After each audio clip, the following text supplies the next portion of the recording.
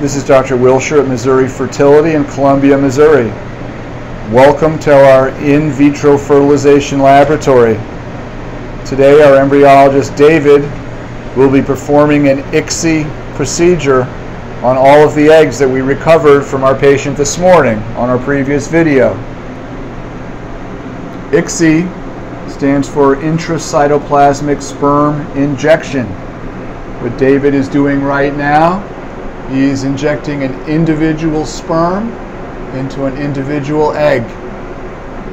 He has selected the best sperm from the husband's recent fresh specimen. He is orienting the egg with the polar body upward, so he comes in on a 90 degree angle, and we'll be injecting an individual sperm into each egg. That is the ICSI procedure. We have gone to pretty much all ICSI all the time nowadays. We do ICSI because we like to ensure that fertilization occurs and we have a higher rate of fertilization with the process. We also are able to select the best sperm through the swim up process. We also like the fact that there are not extra sperm stuck to the outside of these eggs which will become embryos. Genetic testing is becoming very popular. And if you go to test a, an embryo and there's sperm stuck to the outside of it, it will make the testing inaccurate.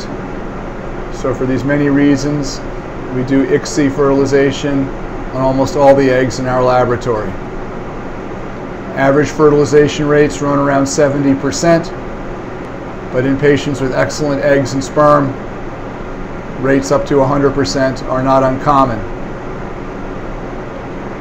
This is in vitro fertilization with intracytoplasmic sperm injection. State-of-the-art technology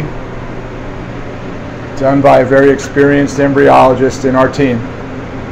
I hope you found this interesting. This is Dr. Gil Wilshire, Missouri Fertility, Columbia, Missouri.